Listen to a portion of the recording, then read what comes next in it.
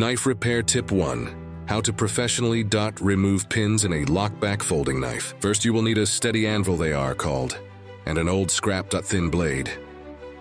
Set the cutting edge of the scrap blade between the inside of the bolster and side of knife blade.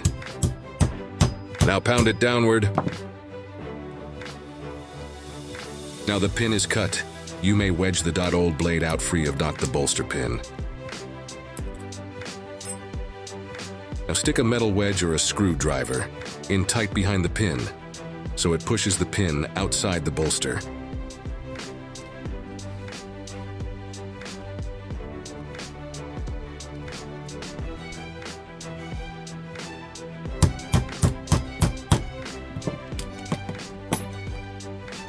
Nip off the pin.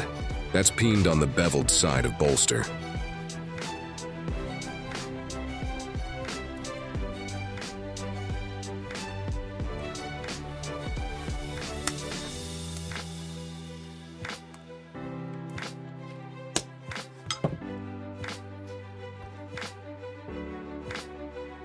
Enter the punch on the head of the pin.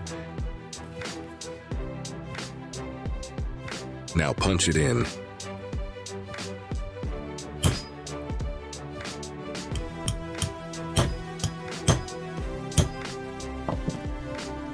Time to nip off the other side of the peened in and beveled side of the pin. With the bevels on the pin on both sides is not nipped off.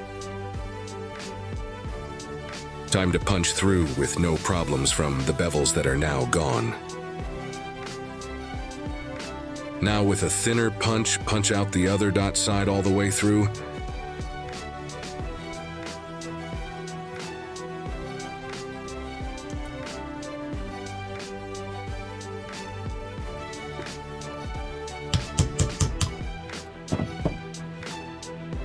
Both pins are out. Slip joint bolsters are the same process as a lockback.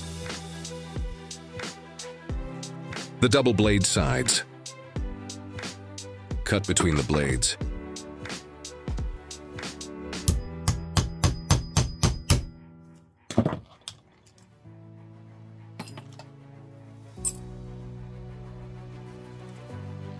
Again. Double-bladed sides cut on the inside of the blades.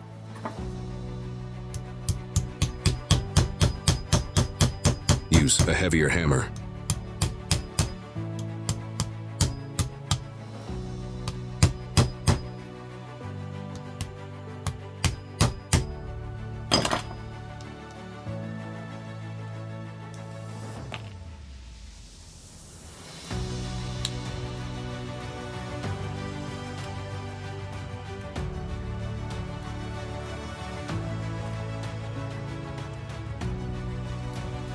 That is it.